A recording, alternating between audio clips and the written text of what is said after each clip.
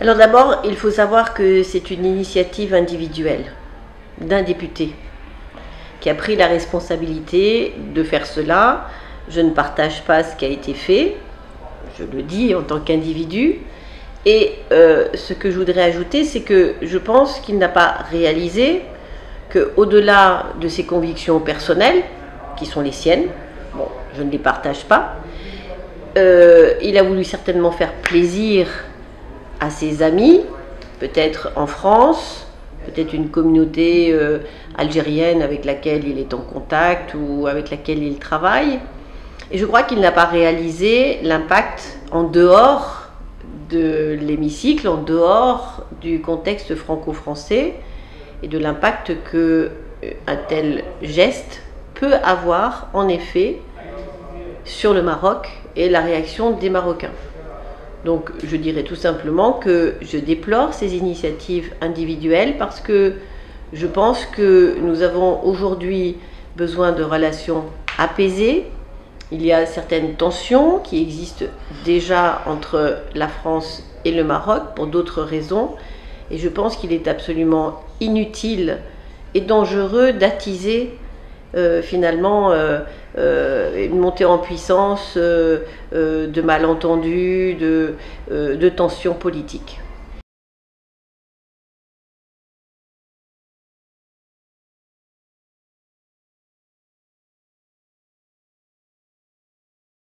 Bien sûr, mais je, je, vais dans le sens de, en effet, de votre, de votre analyse, mais ce n'est pas la France, c'est un individu qui est libre, de défendre euh, certaines causes à laquelle il peut croire, euh, de le faire. Il ne faut pas voir ceci comme un geste de la France contre le Maroc.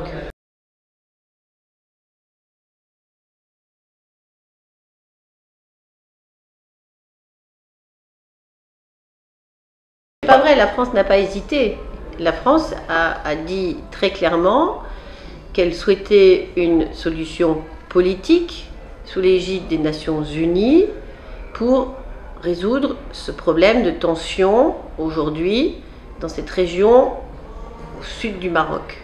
Donc la France souhaite, et je pense qu'elle a un rôle à jouer peut-être d'intermédiaire, en effet, pour apaiser les tensions et trouver une solution.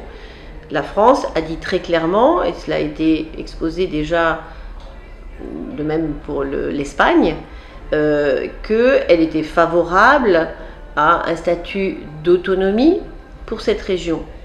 Mais après, ce n'est pas à la France de résoudre le problème entre deux parties, alors qu'elle est, elle, étrangère à cela. Mais je pense que la France a toujours joué un rôle positif dans la diplomatie en permettant à deux de se, de se parler. Si elle prend position fermement contre euh, en, accusant là où elle ne peut plus jouer ce rôle d'intermédiaire. Elle ne sera plus neutre, elle ne sera plus objective.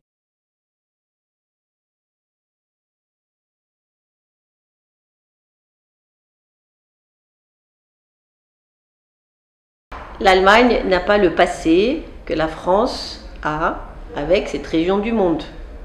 Et là, je parle pas simplement le Maroc, mais l'Algérie. Donc, il est beaucoup plus facile pour l'Allemagne de prendre une position parce qu'elle ne peut pas être accusée par l'un ou par l'autre. Les liens entre la France et le Maroc, la France et l'Algérie ne sont pas les mêmes que ces deux pays peuvent avoir avec l'Allemagne. Donc c'est beaucoup plus facile pour certains. Vous savez, la France, quand elle prend position, elle a toujours tort. C'est toujours trop et pas assez. Donc c'est toujours alors de garder un certain équilibre? Oui, pour pouvoir être utile dans une tension à laquelle elle n'est pas partie. La France n'est pas partie prenante de, cette tension dans cette région du monde.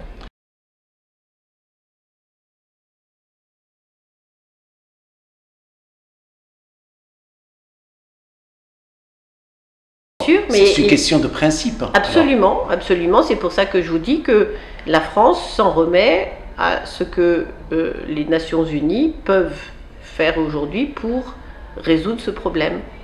Si c'était facile, il n'y aurait pas de tension. S'il n'y avait pas une contestation Bien sûr que si on est du côté marocain, on va penser que le Maroc a raison.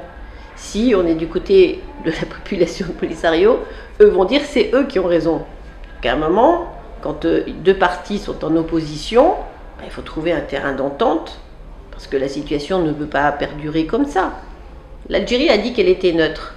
Très bien. Mais la frontière est fermée entre ces deux pays. Donc il y a bien une tension quand même qui existe à cause de cette, histoire. Donc je pense que voilà, la France, la France a un rôle à jouer de médiateur. Et ça doit être son seul rôle.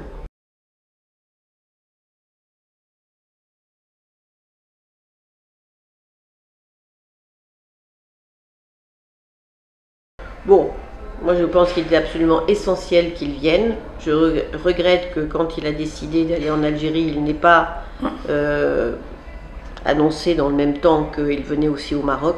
Je pense que ça aurait été un geste global de dire voilà, nous tendons la main à tout le monde, à tous les amis. Donc euh, voilà. Bon, là euh, qu'il annonce qu'il a envie de venir, je pense que c'est une bonne chose et j'espère que ça va se concrétiser et j'espère que la main tendue sera acceptée par les Marocains. Bien. Après, ce qu'il a à proposer, j'espère qu'il viendra avec une très grosse délégation pour montrer l'intérêt que nous avons pour ce pays. Nous avons des intérêts multiples, je l'ai vu, je viens de vous dire que j'ai passé huit jours, je vois la présence française, les investissements qui sont réalisés, dans les instituts français, dans les écoles, dans les services économiques. Demain, je, vais passer euh, la matinée euh, à la chambre de commerce. Et tout ce qui est fait, mais est fait pour le développement de nos deux pays, dans un partenariat qui est solide, et un partenariat qui fait que nous pouvons ensemble eh aller conquérir des marchés, notamment en Afrique. Le Maroc s'est tourné vers l'Afrique, très justement. La France y a une place, on va dire, privilégiée depuis longtemps. Et au vu de la concurrence aujourd'hui d'un grand nombre de pays comme la Chine, comme la Turquie, comme la Russie, on serait bien inspiré d'y aller ensemble. Je pense qu'ensemble on est plus fort et que le choix que fait le Maroc, en effet, d'être euh, un pourvoyeur d'énergie, euh, dans, le, dans le cadre du climat aussi, d'avoir beaucoup de choses à apporter donc à ce continent auquel il appartient, mais qui est plus au sud, et bien que la France soit dans un partenariat, je crois, gagnant-gagnant avec le Maroc. Donc moi, j'aimerais, que le président, euh, voilà, ne se repose pas simplement sur le passé, mais dise, voilà, le présent, on a peut-être des tensions, il y a peut-être des choses, on va les résoudre, on va s'en occuper, ça a été créé de toutes pièces, donc ça peut être euh, arrêté. Et qu'est-ce qu'on fait demain? Qu'est-ce qu'on fait demain ensemble? Pour ce continent, pour le Maroc, pour la France, parce que je crois que la, France a besoin du Maroc tout autant que le Maroc continue à avoir besoin de la France.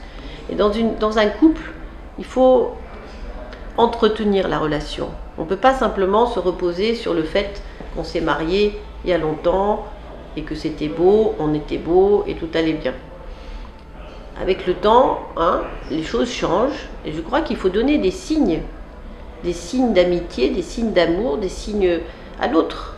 Sinon, il se lasse, euh, il s'ennuie et, il y a des problèmes. Donc euh, voilà, nous sommes un vieux couple, mais je crois qu'il peut y avoir de la passion entre nous. Et c'est ça qu'il faut, euh, qu'il faut faire revivre aujourd'hui.